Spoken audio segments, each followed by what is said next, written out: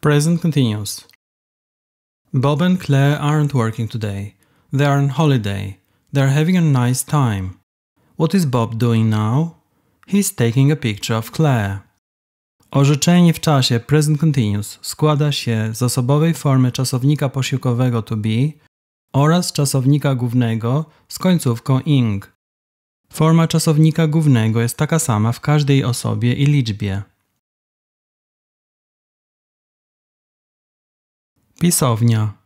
Dodając końcówkę ing do czasownika zakończonego na pojedyncze e, opuszczamy e. Dance, dancing, ale see, seeing.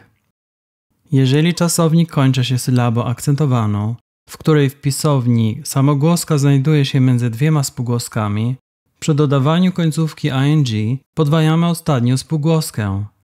Run, running, get, getting, ale open, opening. Dodając końcówkę ing do czasownika zakończonego na l, podwajamy l. Travel, traveling. W przypadku czasowników zakończonych na ie, przy dodawaniu końcówki ing zastępujemy ie literą y. Lie, lying. Die, dying.